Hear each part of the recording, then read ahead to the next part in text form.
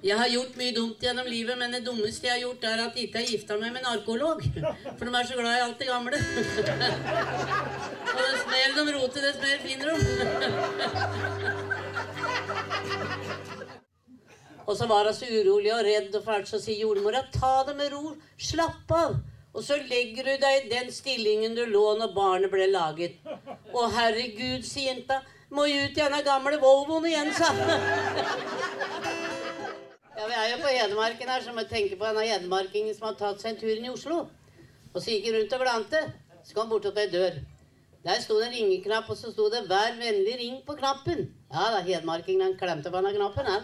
Så kom det ut en Oslo-kar og lurte på hva han ville for noe. Nei, jeg ville ikke noe, sånn, så jeg skulle klemme på denne knappen, så gjorde jeg det. Ja, sier Oslo-karen. Jeg kan høre hvor de kommer ifra, sa han.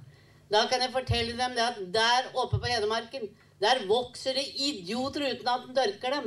Det kan godt hende, det, sa hedmarkingen, min her i Oslo, sa han. Her kommer de fram bare du klemmer på en knapp her, sa han. En lita smågutt og småjente det som drev og bada nakne, da. Og guttungen var litt stolt av det bitte lille han hadde, da. Så sier han til jenta 'Sånn har ikke du', sa han. 'Nei', sier jenta, 'men jeg får nå bli stor'. det var to eh, naboer da, som møtte opp på apoteket.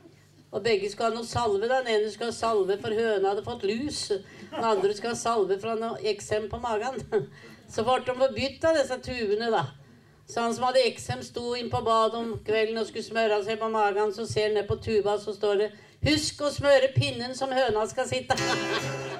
Men faktisk jeg vært i fire kjerker og underholdt med den underholdningen jeg har. Og jeg var i kjerke oppe i Trøn Trøndelagen. Den tok 400, og det var 400 der. Helga etter så var det gudstjeneste, da var det åtte. det skulle nok ha vært blest. En datter til en sånn stor byggmester og det hadde ett ønske til jul, og det var å få en liten bror eller søster. Ja, men det går ikke an, det, sier mammaen. For det er at bare en måned til jul, og pappa kan ikke greie det. Ja, men kan ikke sette flere folk på saken, da? Det var mannen som våkna om natta da kjerringa skrek så stygt og det. som sier han 'du skriker så stygt', sa. Ja, jeg hadde så mareritt, sa Ja, du drømte for noe, sa han. Jo, jeg drømte i natt nedover et sånt bratt fjellside, sa han. Så fikk jeg tak i sånn rot og holdt meg fast. Det er greit, det, sa gubben. Nå er du våken, så nå kan du slippe, sa han. var et bankran, og det alle fikk ordre om å legge seg på magen.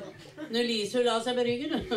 Og da sier hun som ligger ved sida av Lise sa dette her er et bankran, det er ikke noe julebord.